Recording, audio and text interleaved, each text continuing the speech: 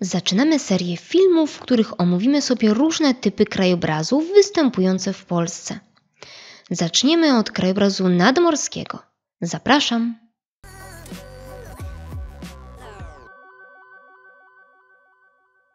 Jak już wiesz, w północnej części Polski, wzdłuż wybrzeża Morza Bałtyckiego, ciągnie się pas pobrzeży. A my w swoich rozważaniach skupimy się w szczególności nad wybrzeżem słowińskim, które leży w środkowej części. W tym typie krajobrazu przeważają piaszczyste plaże, przybrzeżne jeziora i nadmorskie równiny porozcinane dolinami rzek. Najważniejszymi czynnikami, które kształtują ten krajobraz są wiatr, a także morskie fale i prądy przybrzeżne. Dzieje się tak dlatego, że fale wyrzucają na brzeg piasek, który to tworzy piaszczyste, szerokie plaże. Są one cechą charakterystyczną wybrzeża niskiego. Wzdłuż plaż ciągną się wydmy, czyli takie piaszczyste wzniesienia usypane przez wiatr. W okolicach jeziora Łebsko wydmy są najwyższe, bo osiągają wysokość nawet do 40 metrów i co ciekawe mogą zmieniać swoje położenie i to dość znacznie, bo nawet o 10 metrów rocznie. A to dlatego, że są przewiewane przez wiatr. Tak wysokie wydmy to unikatowe obiekty przyrodnicze, które zostały objęte ochroną w ramach Słowińskiego Parku Narodowego. Jak już mówiłam, wybrzeże Bałtyku w przeważającej części jest typu niskiego, co oznacza, że łagodnie opada ku morzu. Ale musisz wiedzieć, że na niewielkich fragmentach wybrzeża słowińskiego występuje wybrzeże wysokie, zwane też klifowym. Tam brzegi są bardzo strome i wysokie, nawet na kilkanaście metrów.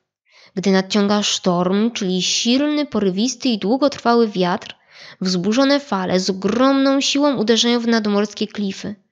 Podcięte zbocza osuwają się, a materiał skalny jest zabierany w głąb morza.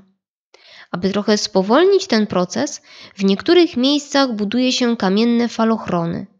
Można je zobaczyć chociażby w Jarosławcu, gdzie do niedawna brzeg morski przesuwał się w głąb lądu o pół metra rocznie. Ale nie tylko wiatr i fale wpływają na kształt wybrzeża.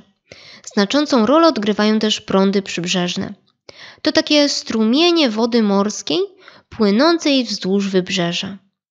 Na skutek ich działalności mogą powstawać przybrzeżne jeziora.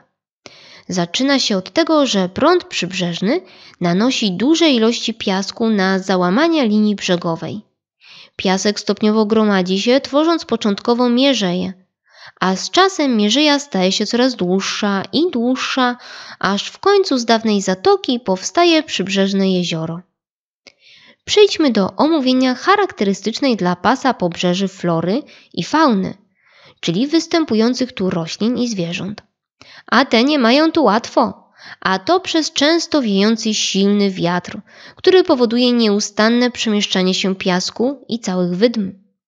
To wyjątkowo niesprzyjające warunki dla roślin, ale mimo to jest kilka gatunków, które świetnie sobie radzą.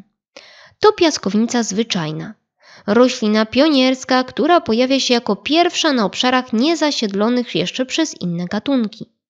Broni się przed zasypywaniem rosnąc bardzo szybko w górę i wypuszczając nowe rozłogi.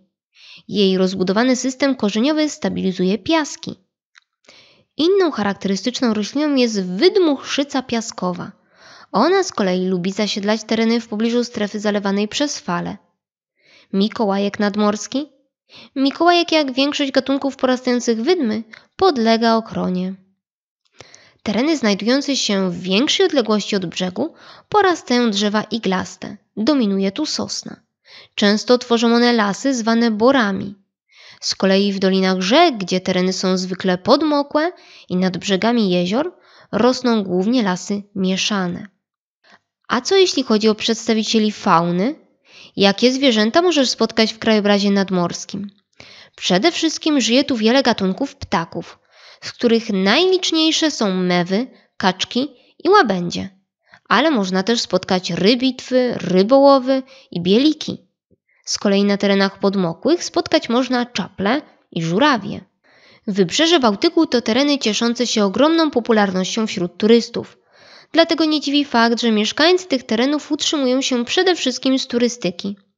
Wzdłuż wybrzeża znajdują się liczne mniejsze i większe miejscowości wypoczynkowe, jak Dąbki, Rowy czy Ustka. W niektórych z nich, np. w Jarosławcu, Czołpinie czy Łebie, znajdują się latarnie morskie, które z jednej strony poprawiają bezpieczeństwo żeglugi, a z drugiej są dużą atrakcją turystyczną. Takich czynnych, zabytkowych latarni morskich na polskim wybrzeżu jest aż 15. Nad Bałtykiem, który zwłaszcza w okresie letnim cieszy się ogromną popularnością, stworzono bogatą infrastrukturę na potrzeby obsłużenia tak dużego ruchu turystycznego. Są tu liczne hotele, pensjonaty, restauracje i parki rozrywki. Tworzy się też liczne szlaki turystyczne, zarówno piesze, jak i rowerowe. Oprócz tego wzdłuż wybrzeża, np. w Darłowie, Ustce czy Łebie, znajdują się porty rybackie. Rybacy łowią różnorodne gatunki ryb, szproty, śledzie, dorsze i flądry, które następnie trafiają do przetwórni lub wędzarni. Są też małe stocznie, gdzie buduje się i remontuje niewielkie łodzie. Dawniej na tych terenach nad jeziorami Łebsko i Gardno żyli Słowińcy, zajmujący się uprawą ziemi i połowem ryb. To jak żyli, jak mieszkali można zobaczyć w Muzeum Wsi Słowińskiej w Klukach. Znajdujące się tam zagrody mają nawet 200 lat. Zapamiętaj najważniejsze. Do charakterystycznych elementów krajobrazu Wybrzeża Słowińskiego należą plaże, wydmy, jeziora przybrzeżne, a także nadmorskie równiny. Największymi atrakcjami turystycznymi tego rejonu są Morze Bałtyckie, szerokie i piaszczyste plaże oraz ruchome wydmy i jezioro Łebsko chronione w obrębie Słowińskiego Parku Narodowego. Jeziora przybrzeżne powstały na skutek odcięcia dawnych zatok morskich przez piaszczyste mierzeje.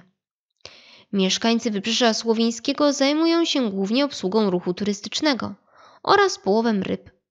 W małych stoczniach buduje się i remontuje niewielkie łodzie.